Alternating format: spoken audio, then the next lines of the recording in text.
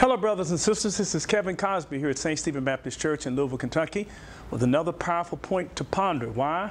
Because we have covenanted to spend meaningful moments with the Master as we unpack God's Word. This entire week, we've been in a series entitled Know Fear, K N O W. 365 times in the Bible, you find the expression, fear not. Fear not. For every day of your life, there's a fear not for you. And in order to really uh, experience that fear not, you have to know fear, know something about fear, know what causes us to be afraid, and know what the six basic fears are. Uh, like a fear of uh, the future, fear of commitment, a fear of failure, fear of loneliness. And today, here is a primal fear that all of us have to deal with, and that is the fear of death. That's the fifth fear we want to talk about the fear of death. Listen to Psalm 31, verses 14 and 15.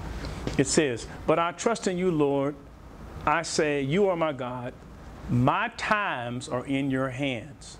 Deliver me from the hands of my enemies for those who pursue me.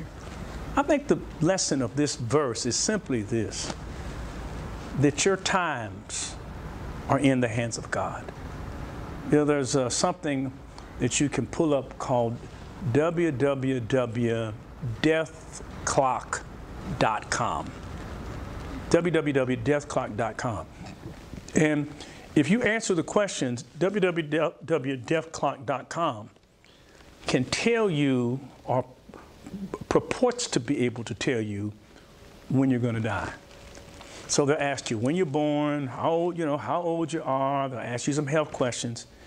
And then they will do some tabulations and then project to you when you probably are going to die, what year, around what year, what month. They, that, that's deathclock.com.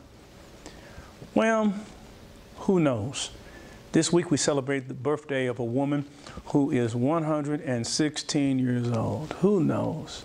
One thing we do know is this: is this the writer says, "But I trust in you, Lord." I say, You are my God. My times are in your hands. I know some people who've had stage four cancer and they're still going. I know some people who've been dialyzed and they're still going. And I know some people who are a picture of health and they're no longer with us because our times are in God's hands. Now, death is inevitable. Excuse me. We cannot cheat death. David did not say in the 23rd Psalms, nay or no, though I walk through the valley of the shadow of death. He said, yea or yes, I do walk through the valley of the shadow of death. David also told his friend Jonathan, the son of King Saul, there's just one step between me and death. In other words, my next moment might be my last moment because uh, Jonathan's father, Saul, was trying to kill him. And in this, this age of of, of a pandemic, we never know. We can practice um, uh, good disciplines uh, as the CDC has asked us to do, but you just never know who can contract it and what impact that COVID may have on an individual if they do contract it. So there is a great fear of death, fear of death. Why do we exercise so much? We exercise because we want to keep our bodies healthy because we are afraid that we're going to die. Why do we um, put on makeup and uh, dye our hair and all other things to hide the gray? Because we do not want to be reminded of the fact that we are aging, and with aging comes decline and the death of our body. Now, death is inevitable, and it's universal, and it's democratic. Not every family will own a car. Not every family will own a house. Not every family will have a college graduate.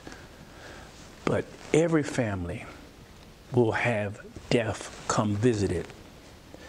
Every family will have death come visit. No family will miss death because death misses no family. You know, when death does come, um, how we respond to death is predicated on who it was that dies. Every person dies but not all deaths are the same. Some deaths that will take place are deaths that will cause a sense of relief. And then there's some deaths that will occur that feel, make us feel a sense of regret. What do I mean? Uh, when my father died in 2014, uh, he had been sick for some time. And he was laying in the bed, in the, and often in the hospital, and sick. And um, I hated to see my dad like that. So then when he passed away, I grieve, and I still grieve, and I miss him dearly. He was my number one cheerleader. I mean, I had a great father.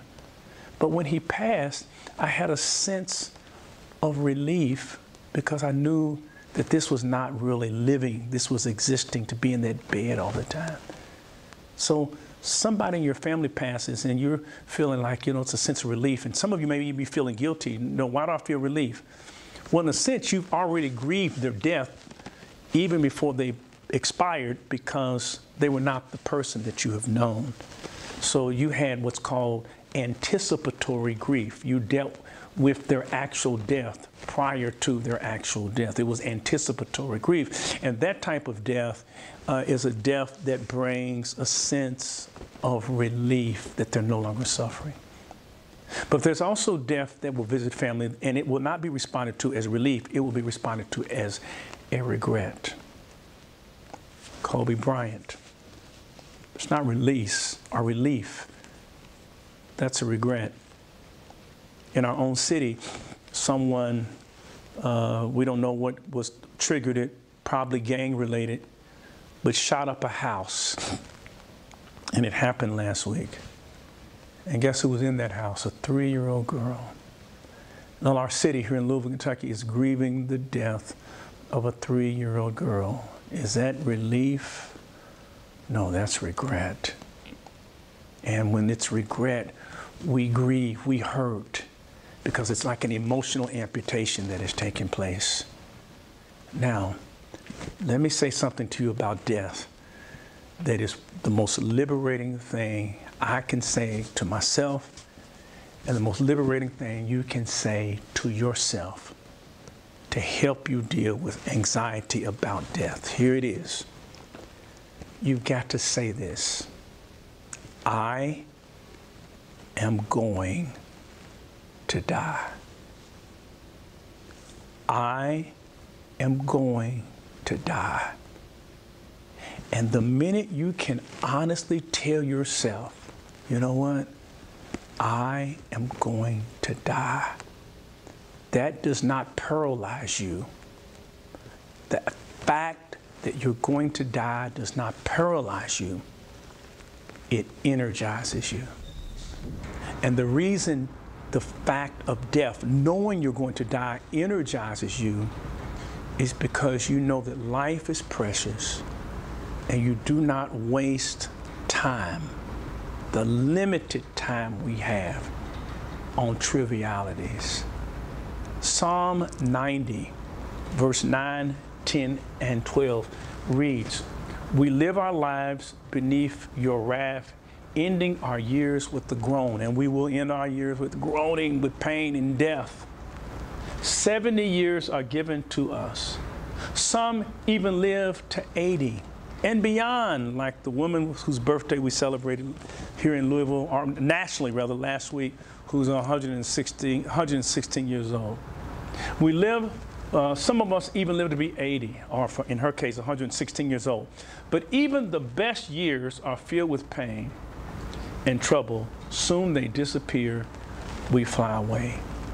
So he says, since we only have 70, 80, 90 years, he says, teach us to realize the brevity of life so we may grow in wisdom. In other words, teach us to realize we don't have a lot of time to de- be dealing with things that really don't matter. It helps us to prioritize. It energizes us and say, you know what? I've got to do the works of him who has sent me while it is day, for the night cometh when no man works. It helps us to do what the psalmist said, and when he says, Whatever thy hand uh, or the writer of Ecclesiastes, rather, who says, Whatever thy hands finds to do, do it with all thy might, for there is no work in the grave. There's no work in the grave, there's only work in life. So whatever you're going to do, do it now. And then when death comes, because we believe in the resurrection, we have a promise from the Apostle Paul in 2 Corinthians chapter 5 and verse 8. And this is what it says. We are confident, I say, and we prefer to be away from the body at home with the Lord. Absent from the body, present with the Lord. Let me tell you what death is like. Imagine a pregnant woman. She's in her ninth month. Suppose you could talk to the child that's in the mother. The child is alive, but the child is in limited space.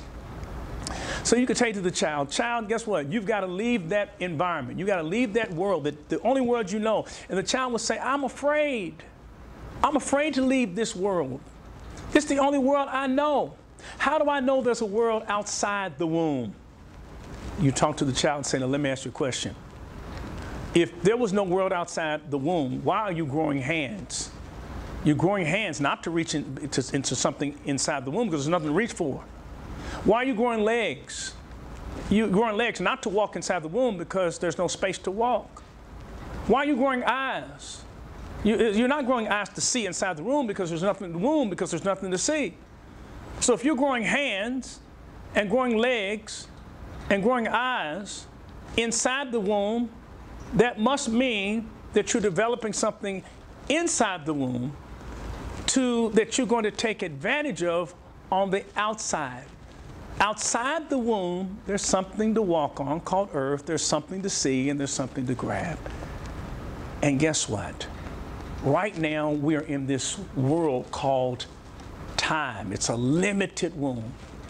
But in this limited womb called time, God is developing us spiritually for something beyond this world, and that is called heaven. And God is getting us ready for heaven. Paul said, to be away from my body is to be at home with the Lord. Cares all past, home at last, ever to rejoice. Let's pray together. Heavenly Father, thank you for your word. Help us to say, I am going to die. Not that it will paralyze us, but it will energize us to do those things that glorify your name and make our world better. In Jesus' name, amen. God bless you. Thank you for being with us today on another powerful point to ponder. If you don't have a church home, we invite you to become a part of the St. Stephen's uh, online community, the St. Stephen Online Church. Uh, contact us here at St. Stephen Church at info at ssclive.org. And as we say every day, stay safe, wear your mask, wash your hands, stay safe, stay sane, and if you can, stay home. See you tomorrow.